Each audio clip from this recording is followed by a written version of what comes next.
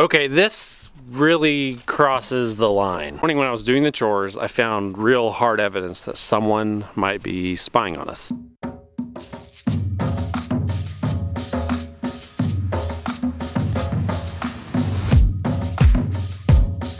Okay, so this morning I was out doing the chores on our little Appalachian mountain homestead.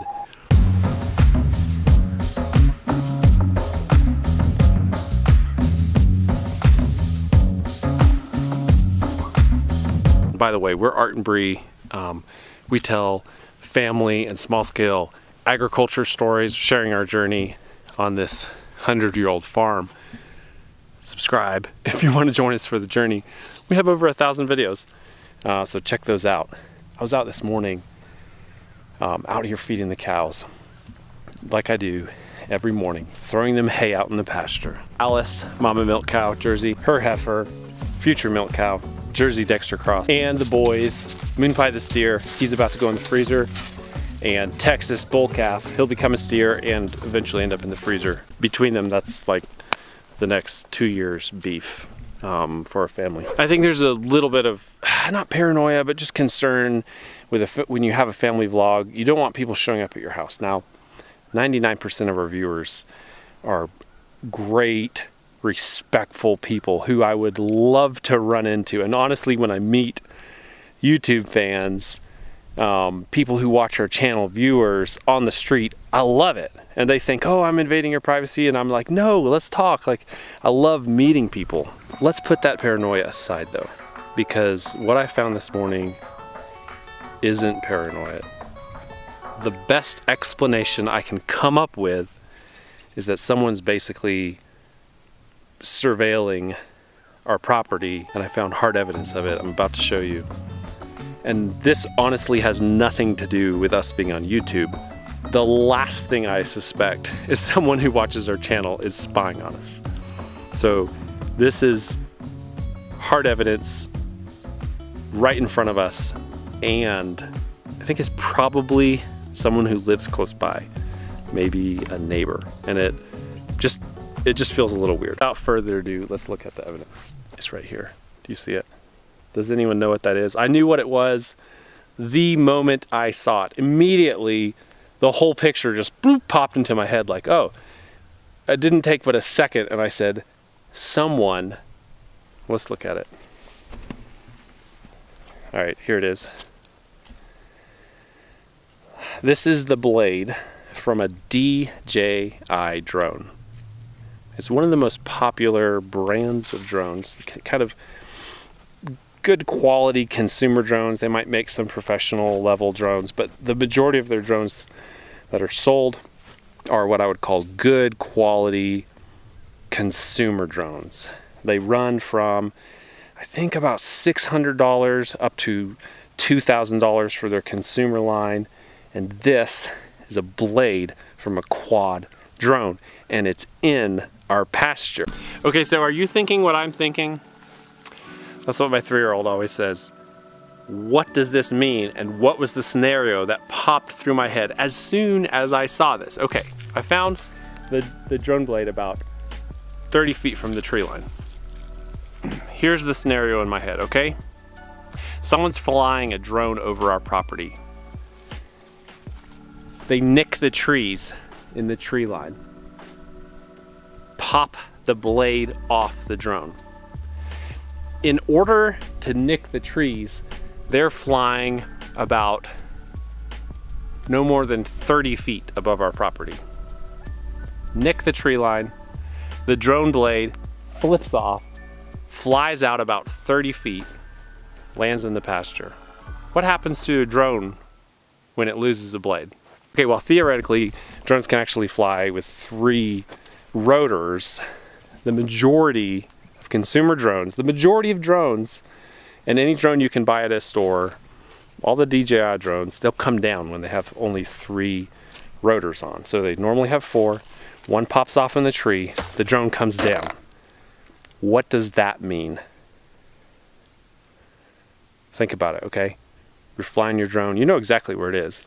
You can see it on a little map, and you're flying in over our farm, over our house, not sure why, nick a tree, your rotor flies off, the drone goes down.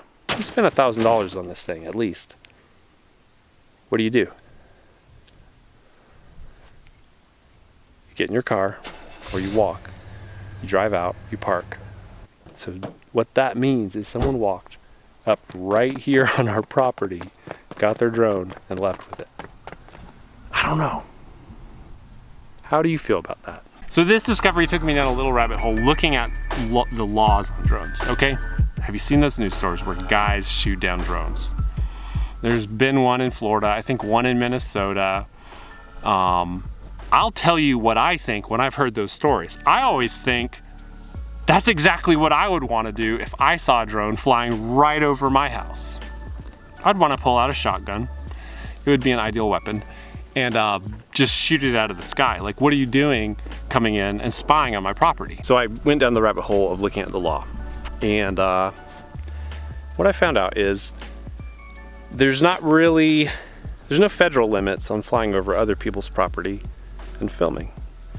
Um, the FAA, the Federal Aviation Administration, they administer or they regulate the skies, I think above 400 feet.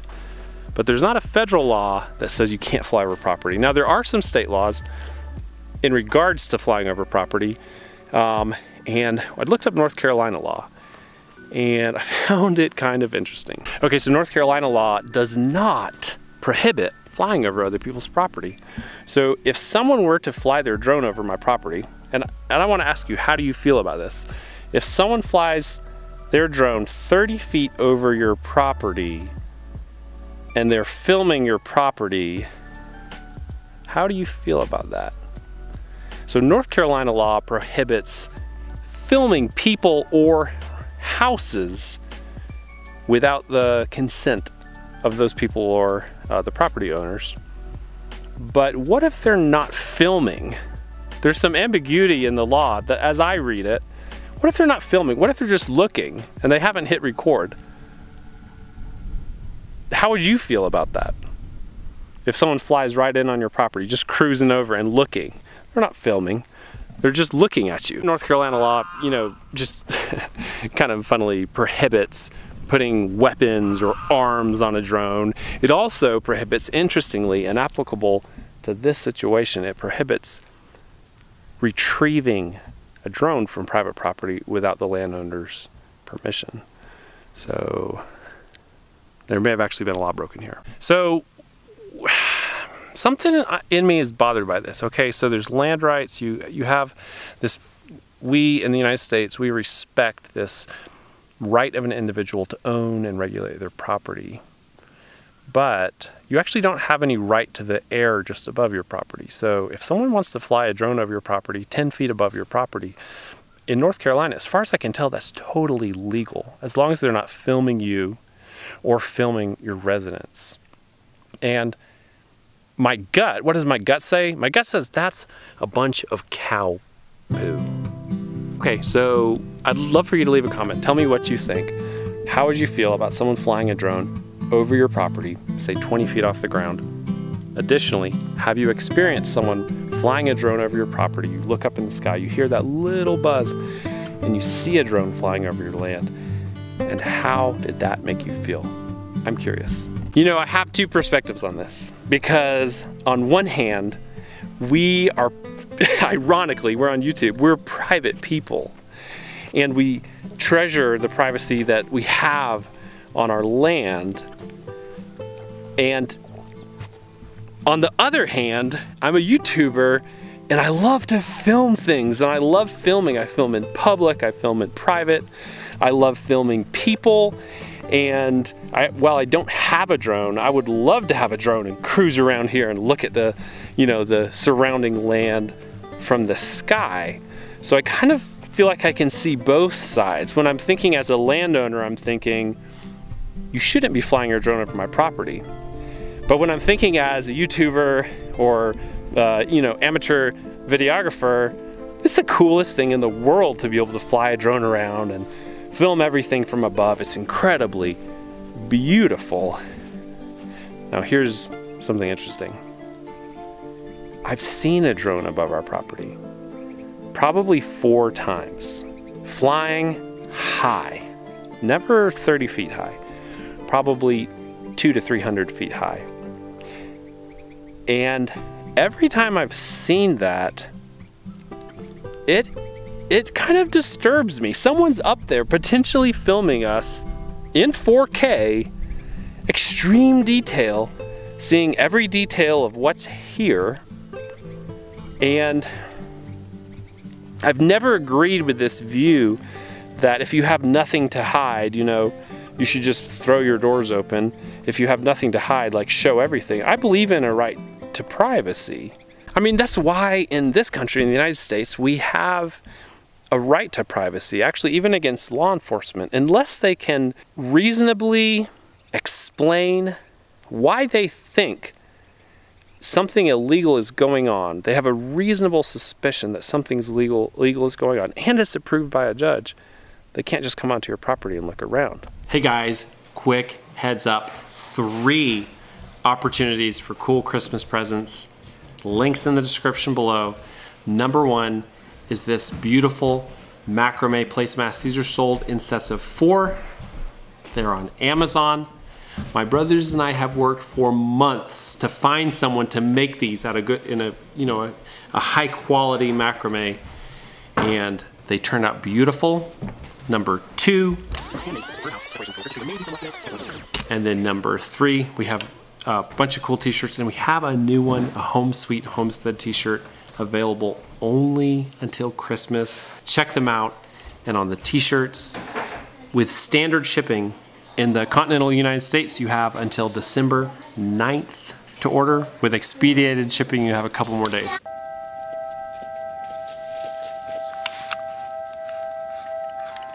Okay, let's take this kind of to a different place, okay?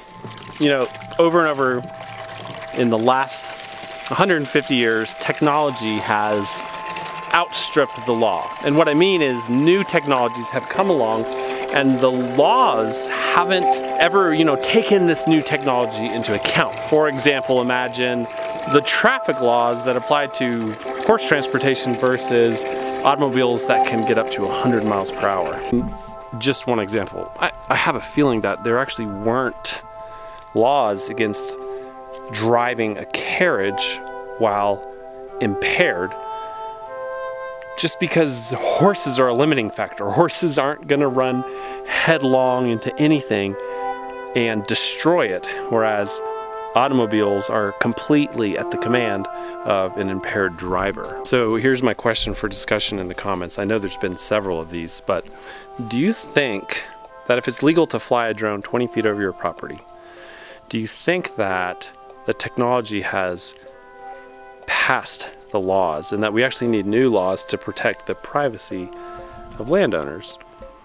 Think about it for a second, okay? 20 years ago, if someone was filming a movie or a commercial and they wanted to get some incredible, smooth aerial footage, what would they have to do? They'd have to hire a helicopter. That's hundreds of dollars per hour, if not more. But now you can actually just buy a drone for a $1,000. It's not cheap, but in comparison it's cheap. And you can film as much perfectly smooth 4K footage wherever you want, anytime. And for the first time, I mean, it's within reach of many of us to buy a drone and cruise over our neighbors' properties and look at them. I mean, you could fly a drone right up to someone's house and look in their window and there's actually examples of this in the news, people like spying on other people. You can hover your drone outside someone's window and look into their house. Now, in North Carolina, apparently, if you're filming, that's breaking the law, but still, the technology has opened up these possibilities for invading people's privacy. So the question is, what do you think? Do you think that it's reasonable that someone can just freely fly their drone over your property, or do you think there should be some limitation in the law? Or I mean, a simple law would just be if someone's flying a drone over your property and you can't use a rifle, you can use a shotgun. It could be perhaps in like the um, wildlife hunting regulations, and you're able to shoot it. You can get a tag and you can go shoot down one or two drones per year with a shotgun. So that would give about a mm, 75 yard, 75 to a max 100 yard buffer above anyone's property. And that would let drone pilots just know that, hey, I need to steer clear. If my drone gets shot down with a shotgun, it's fair play. Drones give you the ability to do, you know, stuff that you couldn't otherwise do because you can get a view of someone's property that um, otherwise you would have to walk on to their property and trespass, which in the United States is very well defined in the laws as at the discretion of the landowner, whether people can come onto their property. Looking at it from the drone pilot's perspective, I, I just want to pause for a second. I don't think that it's reasonable for individuals to own the skies above their property. I think it makes sense that they're basically public domain. If you have a plane and you want to travel, it's really the best way to travel if you have hundreds of miles to go or thousands of miles to go. You should be able to fly through the skies. Now, please don't bite me. Um, you are you're just a funny. So this steer, he has basically an oral fixation because he was he was bottle fed, and bleh, if you've never been licked by a steer, you've probably been licked by a cat at least once in your life. It's like being licked by a by an 800 pound cat. Imagine the tongue that's stronger, you know, as strong as your hand or your arm hitting your face and just it's like extreme sandpaper. So it's all very friendly. He's a good little steer. But um, because he was bottle fed, he's always thinking that he can get something from you or come and lick you. He was always he's always eating dirt and chewing on wood. It's just a weird thing, and I believe it's just from being bottle fed. I may be wrong. So I mean, look at him right here. He's like sucking on my hand. Ah. you can't suck on that. It's kind of sad because he's like he's gonna be our meat for the next year and he's so friendly. Okay, let's stop for a minute. Everything that I said previous to this is what was running through my head this morning. Someone's flying over our property. I don't think they're out, you know, just looking at us. That, that would be on paranoia. I'm not paranoid, but someone was flying over our property with a drone. But then I stopped and I thought about it and I said, how else could that drone prop have gotten on our property? And I thought about when was there a drone on our property? And I remembered back. About four years ago, a friend, YouTuber friend, Justin Rhodes, came out. I think it was the day they gave us chickens. It was right after we started our YouTube channel. And I was thinking, and I, I was thinking, did he lose a prop? Did he crash his drone that day? Because if he did, it could have been covered by thick grass, and the grass is eaten down as much as it's ever been now, which could have exposed it. But the prop doesn't look like it's been out for four years. But plastics are really stable, so maybe, maybe it has. So I'm just gonna look. Something in my memory is jogged. So let's see. YouTube channel, Justin Rhodes. No, I'm gonna go to my YouTube channel. Art and Bri. And I'm gonna go back to right when we started our blog. It was like our first month because he promoted us then for the first time. It kicked off our channel. And I'm gonna go to oldest video. I'm gonna work from there. It should be about 30 videos in. All kinds of memories being triggered. I think I found his video from that day. Okay, look, here's winter, December 23, 2016. All right, here we go. Going on the Great American Farm Tour, so why not give them away for Christmas? Drone footage of our property. There it is, drone footage. I think this might be the vlog. All right, here we go. I'm gonna scan through the video. I'm gonna text him and see if he remembers losing a prop. Hey, when you filmed with your drone at our property four years ago, do you remember crashing your drone? Question mark. I found a prop in our field and I'm trying to figure out where it came from? Question mark. Okay, message sent. Let's see what he says. I just have this vague memory It's a really vague memory that he crashed his drone. I'm questioning whether that actually happened though. Okay, so a couple hours later, Justin got back to me. I think he has a pretty good memory. And between his memory and mine, I don't think he lost a rotor on our property, which means I think my first instinct was correct. Uh, he said he did not remember crashing his drone that day. He does not think he lost a rotor out there. I'm pretty sure he'd remember. So, what does that mean? I mean, on one hand, it's not a big deal. On the other hand, feels like a little invasion of privacy. Let me know what you think in the comments, and we'll see you in the next video. All right, goodbye.